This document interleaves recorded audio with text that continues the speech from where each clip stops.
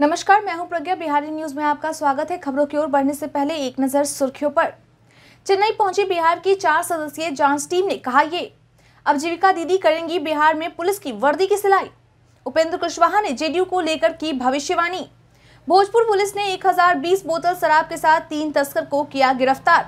महिलाओं के आईपीएल में दिल्ली और आरसीबी के बीच मैच आज। इसके साथ ही बढ़ते हैं शाम तक की बड़ी खबरों की ओर विस्तार से। चेन्नई पहुँची बिहार की चार सदस्यीय जाँच टीम ने कहा, ये तमिलनाडु में बिहारी मजदूरों पर हिंसा के मामले की जाँच करने को लेकर बिहार के मुख्यमंत्री नीतीश कुमार के निर्देश पर चार सदस्यीय टीम चेन्नई पहुँची है। बता दें कि वहाँ पहुँचने के बाद ग्रामीण विकास विभाग के सचिव बाला मुरुगन डी ने कई बातें कही हैं, जिसमें उन्होंने यह भी कहा है कि वे तमिलनाडु सरकार के वरिष्ठ अधिकारियों से मिलेंगे और यहाँ की जानकारी हासिल करेंगे। इसके साथ ही यहाँ पर काम करने वाले वे सभी मजदूर जो बिहार से आते हैं, उन्हें आश्वस्त भी करेंगे और बता बताएँगे कि बिहार सरकार उनके कल्याण के लिए है। इसके अलावा हम उन सभी स्थानों का दौरा करेंगे जहाँ पर इस तरह की हिंसक घटनाएँ घटित होती है। आपकी जानकारी के लिए बता दें कि इस मामले को लेकर चेन्नई वरिष्ठ बिहार के अधिकारियों के नेतृत्व में टीम वहाँ गई है, जो हर मामले की जाँच कर उसकी रिपोर्ट मुख्यमंत्री नीतीश कुमार को सौंपेगी। बिहार के सरकारी अस्पतालों में होगी बिजली की निर्बाध आपूर्ति। बिहार के सभी सरकारी अस्पतालों में बिजली की आपूर्ति की जा सके। इसको लेकर बिहार में स्वास्थ्य विभाग की ओर से एक अहम फैसला लिया गया है। बताने के लिए गए फैसले के तहत स्वास्थ्य विभाग की ओर से बिजली कंपनी को कहा गया है कि वह डेडिकेटेड फ़ीड ट्रांसफार्मर व नए कनेक्शन अस्पतालों को दे। बता दें कि स्वास्थ्य विभाग की ओर से बिजली कंपनी को यह काम इसी महीने पूरा करने का निर्देश दिया गया है। वहीं राज्य में इस कार्य को पूरा करने के लिए कंपनियों को कुल बहत्तर करोड़ पच्चीस लाख पंद्रह हज़ार रूपए बिहार सरकार की ओर से आवंटित किए गए हैं। मालूम हो कि अस्पतालों में निर्बाध बिजली की आपूर्ति करने से चिकित्सीय कार्य में कोई परेशानी नहीं आएगी।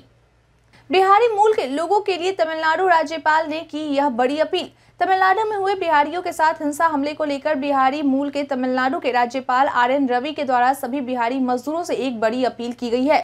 बता दें कि अपील तमिलनाडु के राजभवन की ओर से ट्वीट जारी कर की गई है। ट्वीट में कहा गया है कि राज्यपाल ने तमिलनाडु में उत्तर भारतीय मजदूरों से घबराने और असुरक्षित महसूस न करने को आग्रह किया, क्योंकि तमिलनाडु के लोग बहुत अच्छे और मिलनसार है और राज्य सरकार उन्हें सुरक्षा प्रदान करने के लिए प्रतिबद्ध है। बता दें कि इससे पहले तमिलनाडु के सीएम के द्वारा भी मुख्यमंत्री नीतीश कुमार को आश्वासन दिया गया था कि तमिलनाडु में बिहारी मजदूर बिल्कुल सुरक्षित है और अगर उन्हें किसी प्रकार की कोई दिक्कत आती है तो वह हेल्पलाइन नंबर पर कॉल कर हमें उसकी जानकारी दे सकते हैं। बिहार के दो आईपीएस अधिकारियों का हुआ तबादला। गृह विभाग के द्वारा अधिसूचना जारी कर यह जानकारी दी गई है कि बिहार के दो आईपीएस अधिकारियों का तबादला कर दिया गया है। आपकी जानकारी के लिए बता दें कि जिन दो अधिकारियों का तबादला किया गया है, उनमें भारतीय प्रशासनिक सेवा के 2006 बैच के आईपीएस अधिकारी अनुसुईया और भारतीय प्रशासनिक सेवा के 2009 बैच के आईपीएस अधिकारी डीआईजी जयकांत के नाम शामिल है। मालूम हो कि आईपीएस अधिकारी अनुसुईया को बिहार होमगार्ड एवं अग्निशमन सेवा में डीआईजी के पद पर तैनात किया गया है तो वही जयकांत को बेतिया का डीआईजी बना दिया गया है। अब जीविका दीदी करेंगी बिहार में पुलिस की वर्दी की सिलाई। इन दिनों बिहार में जीविका दीदियों को हर तरह के कामों को सौंपा जा रहा है। वहीं अब जीविका दीदी बिहार में पुलिस की वर्दी की भी सिलाई करेंगी। बता दें कि बीते दिन डीजीपी आर एस भट्टी के द्वारा राजगीर स्थित बिहार पुलिस अकादमी में जीविका दीदियों के द्वारा संचालित पुलिस वर्दी सिलाई एवं सामग्री बिक्री केंद्र का उद्घाटन किया गया। इस दौरान डीजीपी ने जीविका दीदियों को सिलाई के दौरान बरती जाने वाली गड़बड़ियों की भी जानकारी दी और यह आश्वासन भी दिया कि उन्हें विशेष प्रशिक्षण दिया जाएगा। बता दी कि आने वाले समय में इस तरह की सिलाई केंद्रों की शुरुआत राज्य के अन्य जिलों में भी की जाएगी। इस दौरान कार्यक्रम में जीविका के जिला कार्यक्रम प्रबंधक संजय कुमार पासवान भी मौजूद रहे। एनएमसीएच के लापता डॉक्टर संजय कुमार का मिला सीसीटीवी फुटेज। कुछ दिनों पहले एनएमसीएच के एग्जामिनेशन कंट्रोलर और फार्माकोलॉजी विभाग के विभाध्यक्ष डॉक्टर संजय कुमार लापता हो गए थे। वहीं अब उनसे जुड़ा एक सीसीटीवी फुटेज सामने आया है। बता दें कि सीसीटीवी फुटेज के अनुसार डॉक्टर संजय कुमार अपनी कार को खुद ही चलाकर देर शाम सात पैतालीस बजे महात्मा गांधी सेतु पुल पर पहुँचे थे और कुछ देर कार में रुकने के बाद सेतु के फ्लैट में अपनी कार लगाकर और उसे लॉक करके अकेले ही हाजीपुर के लिए पैदल निकल गए। बता दें कि यह CCTV footage camera construction company के द्वारा लगाया गया था, जो ठीक महात्मा गांधी सेतु के समानांतर एक नए पुल का निर्माण कार्य कर रही है। ऐसे में स्पष्ट हो गया है कि वह मुजफ्फरपुर की ओर नहीं गए थे। बिहार में डॉक्टरों और कारोबारियों के ठिकानों पर तीन दिन चला आयकर सर्वे। इन दिनों आयकर विभाग की टीम टैक्स चोरी को लेकर काफ़ी सजग है। बता दें कि ताज़ा मामला बिहार के पूर्णिया और सिवान का है, जहाँ आयकर विभाग की टीम के द्वारा डॉक्टर और तीन अन्य व्यवसाय के सत्रह से अधिक ठिकानों पर छापेमारी की गई। बता दी कि छापेमारी करोड़ों की टैक्स गड़बड़ी के सामने आने पर की गई है, जो कि तीन दिन तक चली। बता दी कि पूर्णिया के जाने माने हड्डी रोग विशेषज्ञ डॉक्टर सफीक आलम के लाइन बाज़ार स्थित क्लिनिक और उनके हॉस्पिटल समेत अन्य ठिकानों पर जाँच की गई। इस दौरान इस दौरान उनके खिलाफ चार करोड़ की टैक्स चुराने का मामला सामने आया है। इसके अलावा जाँच में यह भी सामने आया है कि डॉक्टर ने ज़मीन में बड़े स्तर पर निवेश कर रखा है, जिनमें कई तरह की गड़बड़ियाँ मिली हैं। होली में बिहार आना हुआ दुश्वार। होली में बस अब कुछ ही दिन बाकी रह गए हैं। ऐसे में लोगों को अपना घर आना दुश्वार हो रहा है। बता दें कि होली को देखते हुए एक तरफ़ जहाँ ट्रेनों में टिकट की मारामारी चल रही है तो वहीं दूसरी ओर फ़्लाइट का किराया आसमान छू रहा है। बता दें कि ट्रेनों की हालत ऐसी है कि अगर किसी तरह कोई व्यक्ति ट्रेन में सफ़र कर भी रहा है तो उसे काफ़ी दिक्कतों का सामना करना पड़ रहा है। वही बुज़ुर्गों, महिलाओं और बच्चों के लिए उमस भरे माहौल में सफ़र करना फजीहत भरा हो रहा है। मालूम हो कि ट्रेनों में जनरल डिब्बे से लेकर स्लीपर और थ्री एसी बोगी में वेटिंग टिकटों की लंबी भीड़ लगी है। वहीं अगर इन सभी के बीच बसों की बात करें तो होली को देखते हुए बसें भी फुल चल रही हैं और वे यात्रियों से मनमाना किराया वसूल रहे हैं। पटना के नए एसएसपी ने अधिकारियों को दिए सख्त निर्देश। बीते दिन पटना के नए एसएसपी के रूप में 2010 बैच के आईपीएस अधिकारी राजीव मिश्रा ने अपना पदभार ग्रहण किया।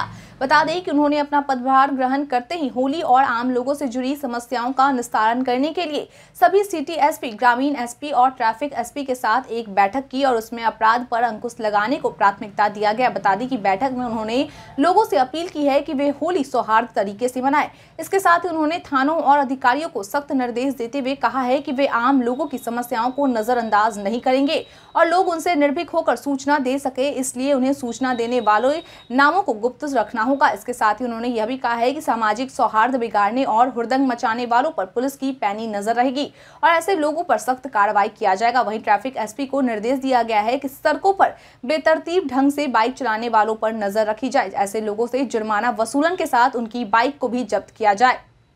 भोजपुरी पुलिस ने 1020 बोतल शराब के साथ तीन तस्कर को किया गिरफ़्तार। बता दें कि ताज़ा मामला जगदीशपुर थाना अंतर्गत बभनियाओं टोल प्लाजा के समीप का है, जहाँ भोजपुर पुलिस के द्वारा भोजपुर पुलिस अधीक्षक प्रमोद कुमार के निर्देश पर जगदीशपुर डीएसपी राजीव चंद्र सिंह के नेतृत्व में एक टीम गठन कर भारी मात्रा में शराब की बरामदगी की गई है।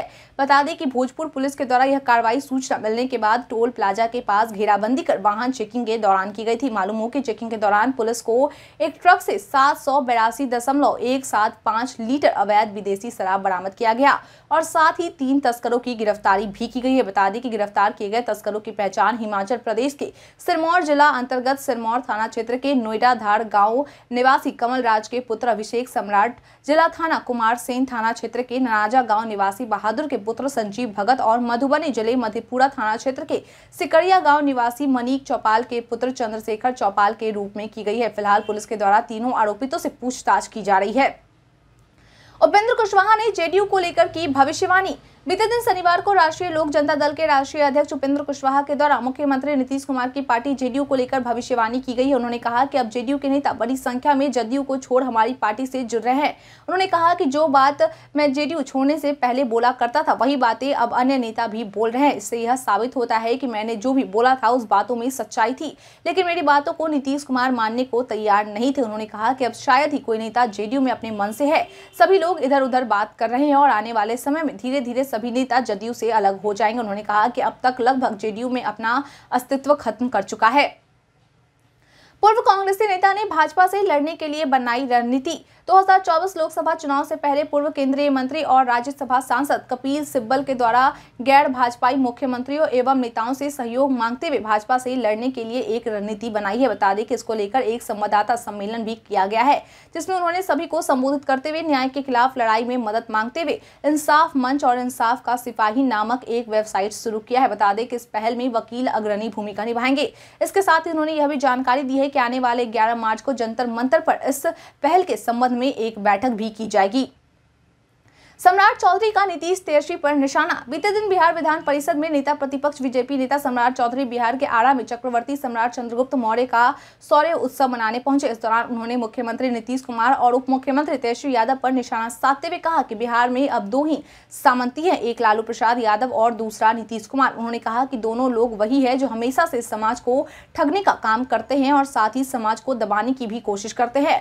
मुख्यमंत्री नीतीश कुमार पर तंज कसते हुए सम्राट चौधरी ने कहा कि यह कैसा इंजीनियर मुख्यमंत्री है, जो सत्रह साल से बिहार का मुख्यमंत्री होने के बावजूद भी यहाँ की सूरत को अब तक बदल नहीं सका है। उन्होंने कहा कि ऐसे इंजीनियर मुख्यमंत्री को सत्ता से उतार देना चाहिए। एक तरफ़ जहाँ तमिलनाडु में बिहारियों पर हमला किया जा रहा है तो वहीं दूसरी ओर बिहार के उप मुख्यमंत्री तेजस्वी यादव पहुंचकर वहाँ के मुख्यमंत्री के साथ जन्मदिन का केक खा रहे हैं। महिलाओं के आईपीएल में दिल्ली और आरसीबी के बीच मैच आज। महिला प्रीमियर लीग का पहला सीज़न बीते दिन यानी कि 4 मार्च से शुरू हो चुका है। बता बता दें कि जहाँ पहले मैच में मुंबई इंडियंस ने गुजरात लायंस को एक रनों से करारी शिकस्त दी और ओपनिंग मैच अपने नाम किया। तो वहीं आज यानी कि 5 मार्च को लीग का दूसरा मैच, भारतीय महिला क्रिकेट टीम की उप कप्तान स्मृति मंधाना की कप्तानी वाली टीम रॉयल चैलेंजर्स बैंगलोर और मिक लैनी की कप्तानी वाली टीम दिल्ली कैपिटल्स के बीच खेला जा रहा है। आपकी जानकारी के लिए बता दें कि यह मैच ब्रेब्रॉन स्टेडियम में खेला जा रहा है। जानिए आज बिहार में क्या है पेट्रोल डीजल के रेट। बिहार में आज यानी रविवार को पेट्रोल डीजल के रेट जारी किए गए। इसके बाद राजधानी पटना में आज पेट्रोल एक सौ सात दशमलव दो दो और डीजल चौरानवे दशमलव शून्य दो रुपए प्रति लीटर मिल रहा है। मुजफ्फरपुर में पेट्रोल एक सौ सात दशमलव नौ एक रुपए और डीजल चौरानवे दशमलव छह चार रुपए प्रति लीटर मिल रहा है। वहीं पूर्णिया में पेट्रोल की कीमत एक सौ आठ दशमलव सात दो रुपए और डीजल पंचानवे दशमलव चार शून्य रुपए प्रति लीटर है। भागलपुर में पेट्रोल की कीमत एक सौ आठ दशमलव दो रुपए और डीजल कीमत चौरानवे दशमलव नौ सात प्रति लीटर निर्धारित की गई इसके साथ ही गया में पेट्रोल की कीमत एक सौ आठ दशमलव तीन एक रुपए और डीजल की कीमत पंचानवे दशमलव शून्य चार रुपए प्रति लीटर है। बता दें कि बिहार में पेट्रोल का रेट सबसे ज़्यादा किशनगंज में है, जहाँ पेट्रोल एक सौ नौ दशमलव चार शून्य रुपए प्रति लीटर और डीजल छियानवे दशमलव शून्य चार रुपए प्रति लीटर की दर से मिल रहा है। बीते दिन हमारे द्वारा पूछे गए सवाल का आप लोगों में से बहुत लोगों ने अपना जवाब हमारे कमेंट सेक्शन बॉक्स में लिख कर दिया है, जिन्होंने हमारे द्वारा पूछे गए सवाल का जवाब दिया है। उनके नाम है रंजीत मिश्रा, नन्नू गोलू कुमार शंकर मुखिया, रविशंकर, मोहम्मद नौजद राजा, कन्हैया कुमार, इरफान अली, राम नरेश यादव मुटर रंगीला, संजीत कुमार, सुमन, अर्जुन राम अंशु प्रिया कविता कुमारी, अनवर करीम खान, कौशलेंद्र कुमार सन्हा।